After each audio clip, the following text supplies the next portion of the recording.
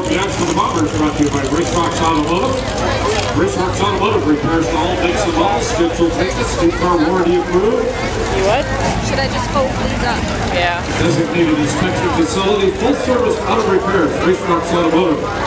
Located on Marwood Avenue in Langford. And this trophy dash is going to feature the three cars from Saratoga Speedway and one from Western Speedway. Huckmore ready for introductions.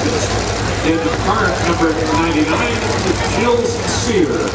Saratoga Speedway between Courtenay and Campbell River. Coming down the was number 90. All right, John Zana.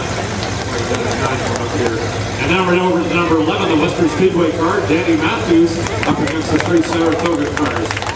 Now we'll go back to number 99, Jills Sear, another one of Saratoga Speedway cars. And at number 24, Rob Geralt. 74. Number 74.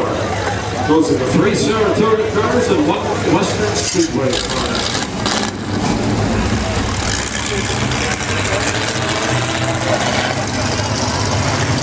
Race Rocks Automotive. Race Rocks Automotive.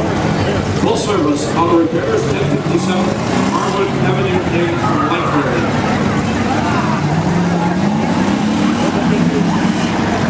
Three Saratoga cars joining the field tonight.